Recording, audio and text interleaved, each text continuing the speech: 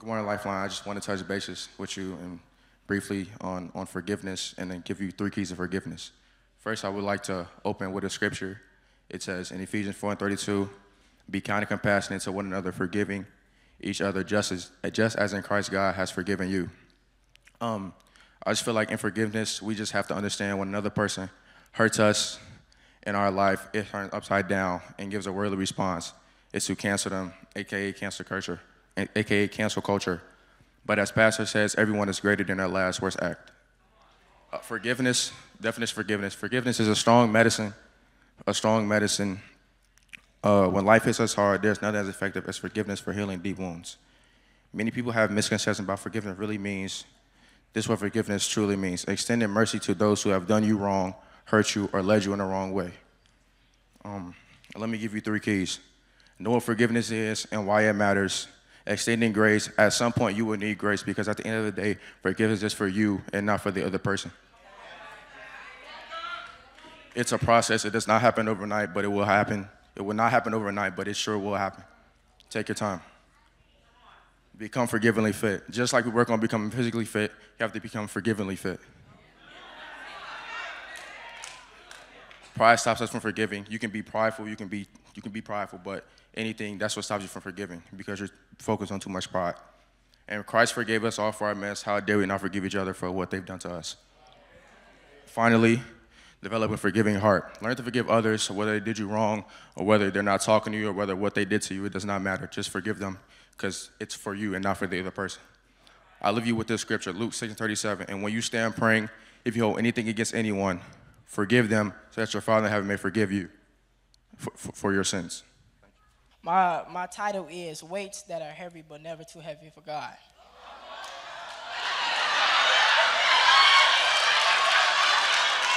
Nah, nah, nah, nah, nah. Let me ask y'all what weights are heavy. Name some weights that are heavy. Come on. Debt, all right. Fear. Violence. Violence, all right. Grief, all right. That's it, all right. All right. So, the last first day of school of my senior year. All right, we ain't get to this part yet, but I couldn't even take a good picture. Y'all see that? All right, so last first day of senior year, I was driving out of nowhere. Boom! A car struck the back end of my passenger side of my vehicle. Man, the whole car turned. I blacked out in the middle of the street. I tell you, this was the scariest moment of my life. Like, you don't even understand. I had to go to the hospital for all kinds of tests. While in the hospital, my head was everywhere. Like, who gonna pay for bills? I got, I got the money. I ain't got that much money for the CAT scan, MRI, X-ray. I ain't got all that money now. The insurance, you know, insurance don't cover everything. So yeah, you know. And then, and then, like, how I'm gonna get to school? Like, they acting crazy on the L, so how, how I'm gonna get to school? So I was in the hospital, really going through it, had head, on and off headaches. This day had a whole weight on my shoulders. You don't even understand. Fast forward, the insurance claim called me. The, the insurance claim called me. Man, I was happy. Not even knowing that they put me at the part of the accident. I'm like, at that moment, I balled up and started crying tears, real tears. Now, black men, don't be scared. To, don't be scared to cry. Don't be scared to cry. Let them tears out. Black men, let them tears out. Go, go in the corner or something, but you gotta let them tears out. Cause I did. My car was wrecked. The, the uh, insurance blamed me at fault for the accident. I was able to drive due to damages. The airbags deployed. You can show the picture of her car now. Show the picture of her car. Now I'm gonna show you. Look at her car. She ain't got no damage on my car, on her car. She ain't got no damage. Now you go to the the airbags deployed and everything. Um, the the wheel caved in. I didn't send them that picture, but the wheel caved in. Now imagine this the first day of school. The first day of school. She could at least hit me on the fourth day. I would have been cool. I want to be cool. Still, she hit me, but I want to be cool. You know, on the fourth day of school, we don't do nothing but sign syllabus, and you take them home, and your mama sign them and bring it back. But you, yeah, you got all that. And life, situations and circumstances gonna hit you out of nowhere, like Hurricane Ian. Hurricane Ian. It's gonna hit you. Now, you will have family issues, school issues, financial problems, so many issues that become burdens and weights that seem too heavy to carry. To overcome these burdens, I had to pray. I had to get in my word. I, I had to let um, the out, outside and everything not phase me because if I knew I want to stay in that mindset, the enemy would have been got me. He wouldn't have got me. Now lean in. This, this something. This something I came with. You can't dwell on hardships and burdens because they'll take a toll on you. They'll, they'll take a toll on you now. They'll take a toll on you. All right. All right. Let's talk about burdens. Let's talk about burdens. Listen, as a skinny young man, some weights are heavy and out of my range, out of, out of, out of my range of lifting. Out of my range of lifting. Okay? To overcome these Without a personal trainer and the right guidance to show me my lifting capacity, I could seriously injure myself. Hurt myself, injure myself, I could be laid up in the hospital right now. So in lifting, you have to know your limits, just like birders. Right now, right now, you have to know your limit, just like birders. You have to know what you have to know what you can take. You have to know what you can take. Because in Psalms 81, 6 and 7, God says, I remove the burdens from your shoulders, your hands will set free from the basket. God is telling you He is going to remove, he will, He's going to remove you and set you free. Not to throw no shade or none. Not to throw no shade or none. Some of y'all like to carry everybody weight and think you big and bad. But let let me know after service how that's been working for you. hey, this this my closing remarks. In closing, I just want to leave you with this. First Peter 5 and 7 says, casting all cares upon him. He cares for you. Who, who got a Bible? Who got a Bible? Who got a Bible? Who, who got the Bible? Let me, let me, this, this your Bible right here? That's a planner. No, I just use this as a Bible now. All right. Y'all see this, right? The man is giving y'all the sauce. The man is giving y'all the sauce. All you have to do is apply the sauce to your life. All you have to do is apply the sauce to your life. Financial, set free. Debt, set free. Everything set free. This is the sauce. All y'all need is the sauce. So, um, I just wanted to say something about God's forgiving grace. And and the Bible says that God's grace is sufficient. Sometimes we want what we want, and we don't want to listen to our parents because we want to be like what we see in the world. We don't want to talk. We want to talk and act like what we see on TV. Sometimes we are the prodigal sons and daughters. In the book of Luke, chapter 15, verse 11 through 24, it's, we see the story of the prodigal son. The Bible tells us about the story about a story about a son who did not want to listen to his father and wants to go out and experience life on his own. The Bible says there was a man that had two sons. The younger one said to his father, Father, give me my share of the estate. So the father divided his property between them. Not long after that, the son, I mean, the the youngest son got all his things that he had and set off for a distant country. And there he squandered his wealth and while living. After he spent after he had spent everything, there was a severe famine in that country, and he began to be in need. How many of you found yourself in need after you did do what God told you to do?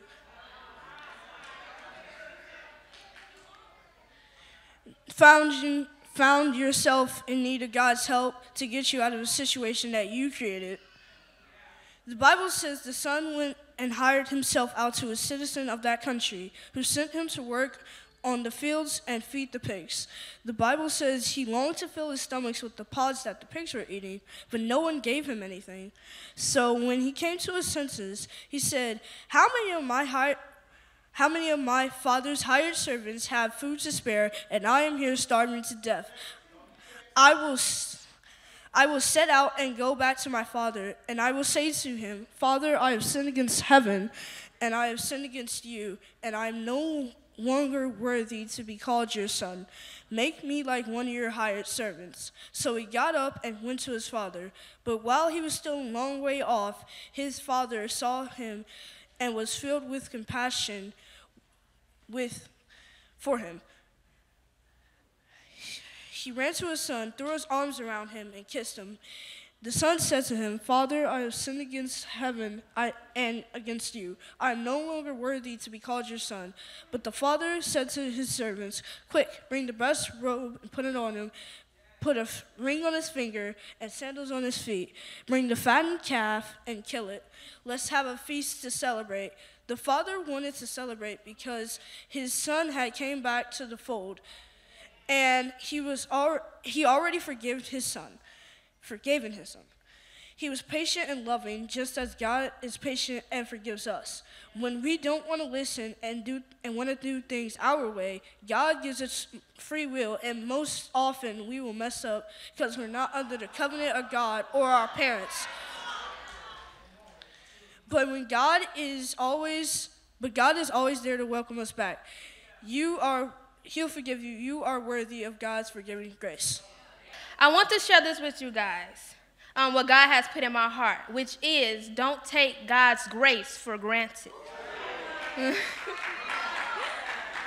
I know some of y'all probably wondering, why did she pick this topic? Well, let me tell you why.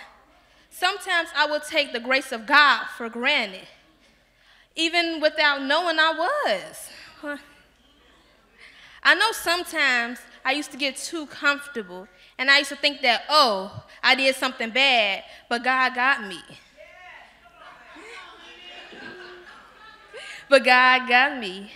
For example, my parents used to say, for example, my parents used to ask me if I had money. And I would say no. Like, mm, I'm trying to get y'all money. Like, you ain't saying nothing. um, they would ask me if I had extra money, and I would say no. But I realized that it was bad for me to say that.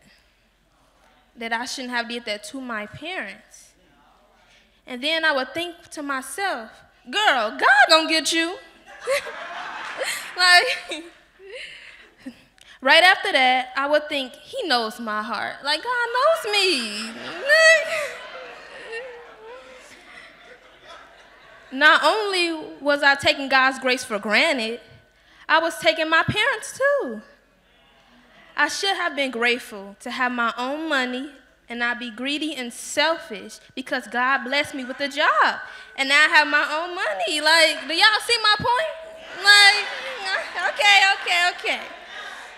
Okay, let me pause right there and go to Romans verse 6, 14 through 18 NLT. Okay. Uh, sin is no longer your master, for you no longer live under the requirements of the law. Instead, you live under the freedom of God's grace. Well, then, since God's grace has set up has set us free from the law, does that mean we can go on sinning? Of course not. Do you realize that you become the slave of whatever, of whatever you choose to obey? You could be a slave to sin, which leads you to death, or you can choose to obey God, which leads you to righteousness. Thank God. Once you were slaves of sin, but now you're with now, but now you're wholehearted obey these teachings we have given you. Now you are free from slavery to sin, and you become the slaves of righteousness living. I love that word. In His Word, God instructs His people to live in such a way that we deeply impact the lives of others. Don't y'all want to impact the world with goodness? Because I know I do. Do y'all? Okay,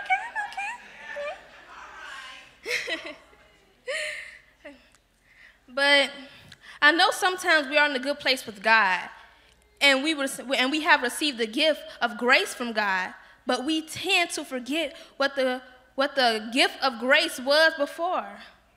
Before I go on, let me give y'all the definitions of grace, if y'all don't know. You know?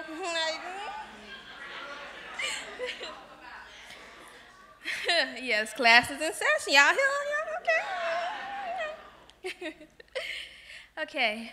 The free and unmerited favor of God as manifested, as manifested in the salvation of sinners and the contribute of blessings. And another definition is a divine given talent and blessing.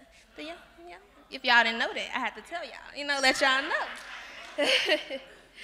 okay, so I'm just gonna say this real quick because I'm running out of time. Hurry up. Now those, now those were just a few definitions. Now let me give y'all y'all favorite scripture that everyone always remember and quote. 2 Corinthians, verse 12 and 9, ESV. Hmm. Y'all always quote, hmm. my grace is sufficient for you. But y'all never say the whole scripture. Y'all need to say everything, everything, okay? Everything, okay? I'm going to say it for y'all that don't know the whole thing. My grace is sufficient for you. My, for my power is made perfectly in weakness. Therefore, I will boast all the more gladly of the weakness, so that the power of Christ may rest upon me. Yes, yes, I love that. Let me do. okay, so I want y'all to close your eyes. Everybody close your eyes. I see him over there. Close them, close Okay, okay. Okay. okay. Now, I really want you to think about all the ways God has showed you his power. I just want you to think about it. Think about it. All the ways he has blessed you.